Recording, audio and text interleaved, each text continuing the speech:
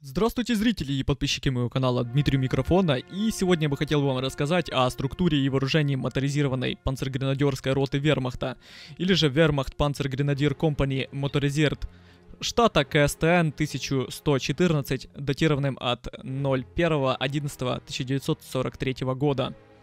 Итак, моторизированная рота панцергренадеров от конца 1943 года состояла с трех стрелковых взводов, одного взвода тяжелого вооружения, тылового вещевого отделения, отделения обеспечения, отделения технического обслуживания автомобилей, противотанковой секции и управления роты.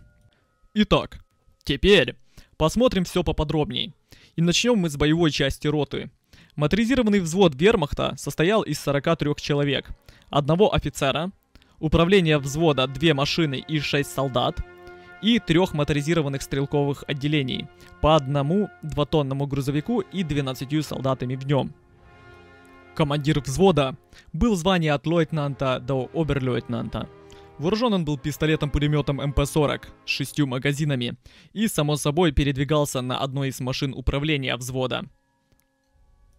МП-40 изначально разрабатывался для десантных частей и спецназа. Это первое оружие, в котором имелся складной приклад – из плюсов можно отметить живучесть конструкции. Пистолет-пулемет без каких-то либо проблем производил до 30 тысяч выстрелов патронами с усиленным пороховым зарядом 9 на 19 P+. Э, также он полностью прошел тест на стрельбу в условиях от минус 50 до плюс 50 по Цельсию, без смазки, и спустя 4 дней пребывания в соленой морской воде, после испытаний солнцем, пылью и грязью. Также он проходил тест с падением. Сам МП-40 скинули на бетонный пол с 5-метровой высоты, и он продолжал вести стрельбу. Следующим плюсом была прекрасная точность. На тестах пистолет-пулемет на полигоне закрепили на станке. На 50 метрах разброс всего 8 сантиметров, на 100 метрах 22 сантиметра, на 200 метрах 50 сантиметров. Третий плюс – это ствольная резьба, из-за наличия которой на пистолет-пулемет можно было устанавливать разные дульные насадки, а именно компенсаторы, глушители, приспособления для стрельбы над калиберными припасами. Ну и несомненным плюсом и достоинством была простота и легкость технического обслуживания. Из минусов можно отметить приклад – который был неудобен, и со временем шарнир, который его держит, начинал расшатываться. Это, в свою очередь, приводило к шатанию самого приклада. Ну и во время стрельбы уменьшало точность оружия. Следующим минусом был магазин, который слишком выступал вниз. Из-за этого вести огонь лежа было опасно, подставляясь под ответный огонь противника. Третьим минусом было отсутствие кожуха ствола. В свою очередь, Ствол сильно нагревался, и солдату приходилось использовать перчатки, чтобы не обжечься при длительной стрельбе. Ну и последним минусом можно назвать низкую скорость пистолетного патрона 9 на 19 Parabellum. В зависимости от пули, ну, не более 320-400 метров в секунду, что приводило к плохой настильности и траектории полета. Командир управления взвода был звание от обер-ефрейтора до унтерфельдфебеля – Вооружен снайперской винтовкой Маузер 98К с 12 магазинами по 5 патронов. Один посыльный в звании до вооружен карабином Маузер 98К. Он еще и исполнял обязанности гарниста. И один водитель с карабином Маузер 98К. Передвигались они на машине. Дальше идет один фельдшер в звании до включительно. Вооружен пистолетом Маузер с двумя магазинами и с ним передвигался один посыльный в звании до ефрейтора, вооружен карабином Маузер 98К. Ну и также еще один водитель с карабином Маузер 98К. И они также передвигались на еще одной машине. В взводе находилось три стрелковых моторизированных отделения панцергренадеров. Теперь приступим к рассмотру одного из них – Командир отделения в звании от обер-ефрейтора до унтерфельдфебеля вооружен пистолетом-пулеметом МП-40 с шестью магазинами. Второй боец и заместитель командира отделения в звании от ефрейтора и вооружен МП-43, или же по неофициальному названию СТГ-43, с четырьмя магазинами по 30 патронов. Секторный прицел был один из главных достоинств СТГ-43. Он позволял вести очень точный огонь до 800 метров. Следующим плюсом был промежуточный патрон. Он был менее мощным, чем у винтовки, но от этого отдача при выстреле была в два раза ниже, чем у Маузер 98К. И третий и последний плюс – это универсальность. Наличие крепления для оптического прицела и наствольного боеприпаса делает эту штурмовую винтовку универсальным оружием. Из минусов можно отметить большую массу. СТГ весил 5 килограмм, 200 грамм с боекомплектом. Для сравнения, на 1 килограмм больше, чем заряженный карабин Маузер 98К с закрепленным штыком. К минусам можно отнести еще трудность чистки и огромное пламя, которое вырывалось во время стрельбы, что приводило к демаскировке стрелка. Дальше идут два старших пулеметчика в звании МГ Обершутце и вооружены пулеметами машин ГВР-34 с барабанным магазином и пистолетом с двумя магазинами. А, дальше идут два помощника пулеметчика. Имели они звание МГ Шутце и имели с собой пистолет с двумя магазинами и два короба по 100-150 патронов. Последние пять солдат — стрелки. Они имели звание Шутце — стрелок, или же Обершутце — старший стрелок.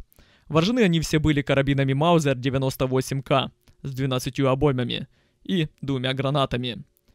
И еще водитель в звании от Шутце до Обершутце с тем же Маузером 98К с 12 обоймами. Также за отделением был закреплен противотанковый гранатомет Панцершрек. До 44 года он назывался Offenrohr и был без щитка. Предположительно, на отделение приходилось 6 противотанковых кумулятивных гранат. За секцией закреплялся двухтонный грузовик «Опель». Панцершрек, или же в начале Offenfor, был создан на основе конструкции захваченного американского противотанкового гранатомета «Базука». Главным достоинством была пробиваемость кумулятивной гранаты от 150 до 220 мм. Выходит, что гранатомет мог уничтожить абсолютно любой танк противника. Еще можно отметить хорошую скорость гранаты, а именно 105 метров в секунду. Для сравнения, Panzerfaust 30 имел скорость гранаты 28 метров в секунду.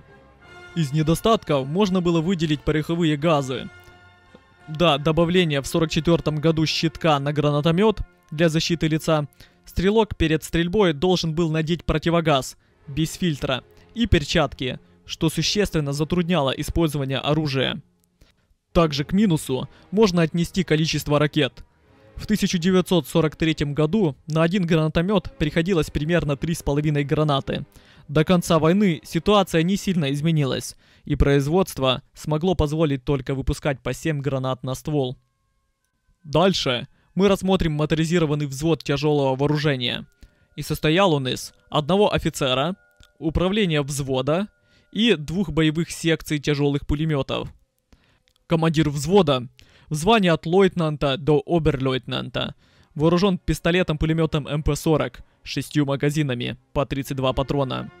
Управление взвода состояло из одного командира управления взвода, который был в звании от обер-ефрейтора до унтерфельдфебеля, вооружен пистолетом-пулеметом МП-40 с шестью магазинами по 32 патрона. Двух посыльных радистов в звании до ефрейтора, вооружены карабинами Маузер 98К. Одного младшего оружейника в звании до ефрейтора, вооруженного карабином Маузер 98К. Один санитар в звании до ефрейтора, с пистолетом Люгера и двумя магазинами. И последние два водителя в звании от Шутце до Обершутце и также вооружены карабинами. За управлением взвода были закреплены две машины. Дальше идет секция тяжелых пулеметов. Два командира секции в звании от обер-ефрейтора до унтерфельдвебля, вооружены пистолетом-пулеметом МП-40. Оба командовали своим расчетом тяжелого пулемета. Также один из них был еще командиром целой секции. Два старших пулеметчика в звании МГ Обершутце вооружены пистолетом с двумя магазинами. Также дальше идут четыре помощника-пулеметчика, звание МГ Шутце, по два человека на ствол, вооружены карабинами. Следующие еще четыре подносчика боеприпасов, звание МГ Шутце, также по два человека на ствол и вооружены карабинами. И один водитель, звание от Шутце до Обершутце, вооружен также карабином. Секция вооружалась двумя МГ-42 с двумя тысячами патронами на ствол. Из плюсов пулемета можно отметить дешевизну. Пулемет был дешевле от предыдущей модели, а именно на 30%, если смотреть на МГ-34. А дальше к плюсам можно отметить скорострельность. Скорость стрельбы в зависимости от используемого затвора была от 800 до 1500 выстрелов в минуту, что на 200-300 выстрелов больше, чем у предыдущей модели, а именно МГ-34. Или, для сравнения, у ДП-27 скорострельность от 500 до 600 выстрелов в минуту. Последнее из плюсов это технологичность. Количество деталей в пулемете было уменьшено до 200, а сам он изготовлялся по применению штамповки и точечной сварки. Например, короб вместе с кожухом ствола изготавливались с помощью штамповки из единой заготовки. Тогда, как у предыдущей модели МГ-34, это были две отдельные детали, которые изготавливались на фрезерных станках. К минусам можно отнести переводчик огня, а именно его отсутствие, что не давало возможность пулемету вести стрельбу по одному патрону. Ну и к минусам можно отнести еще жизнь пулемета. Она была меньше, чем у МГ-34. Данный недостаток стал следствием удешевления конструкции. Но в защиту можно отметить, что данная конструкция, только переработанная под патрон НАТО, производится и используется до сих пор в Сербии, Хорватии, Израиле, Турции, Греции и в малых сериях США. А используется еще в таких странах, как Чехия, Швейцария и Австрия. За секцией также был закреплен грузовик «Опель». Следующая в взводе тяжелого оружия была минометная секция. Один командир секции в звании от обер-ефрейтора до унтерфельдфебеля, вооружен пистолетом-пулеметом МП-40. Дальше идут два командира минометов, по одному на ствол, в звании до обер-ефрейтора, вооружены пистолетами. Два минометчика, по одному на ствол, в звании до ефрейтора включительно – вооружены пистолетами. Дальше идут 4 помощника минометчика, естественно, по 2 на ствол, в звание до обершутце, включительно, вооружены пистолетами. И 6 солдат-подносчиков боеприпасов, само собой, по 3 на ствол. Звание до обершутце, вооружены карабинами. Два водителя в звании обершутце и также вооружены карабинами. За секцией были закреплены два 81 миллиметровых миномета с 54 осколочно-фугасными и 18 дымовыми минами на ствол. 8-сантиметровый Шверер Гранатенверфер 34 в большинстве снаряжался осколочно-фугасными и дымовыми минами, ночью также осветительными, что позволяло увидеть отделение врага. Интересно то, что мины комплектовались весьма чувствительными взрывателями. Из-за этого надо было следить, чтобы на путях полета не было веток деревьев, маскировочных сеток и посторонних предметов. Также с некоторыми взрывателями была запрещена стрельба из миномета в сильный дождь. За секцией также были закреплены два грузовика. Дальше идет противотанковая секция. Состояла она из двух команд. Каждая имела своего командира – он же оператор противотанкового гранатомета. Звание от обер-ефрейтора до унтерфельдфебля. Вооружен 88 миллиметровым гранатометом Оффен-4, ну или же после 44 -го года Панцершрек. К нему прикреплялся один заряжающий в звании до ефрейтора, вооружен пистолетом. И в каждом из команд был еще по одному оператору противотанкового гранатомета, но он был уже в звании до ефрейтора и вооружен 88 миллиметровым противотанковым гранатометом Оффен-4 и к нему также прикреплялся один заряжающий в звании до ефрейтора и вооружен пистолетом. За секцией также был закреплен грузовик «Опель». Дальше. У нас идет тыловое вещевое отделение. Основная задача этого отделения – ремонт, обмундирование и обуви, и обеспечение этими вещами боевых подразделений. Командир отделения, он же секретарь по оплате, был в звании от обер-ефрейтора до унтерфельдфебля – и вооружен карабином Маузер 98К.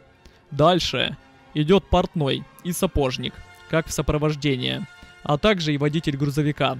Все они были в звании до ефрейтора включительно и вооружены карабинами с 8 магазинами. Также за ними был закреплен грузовик, чаще всего Opel с открытым верхом.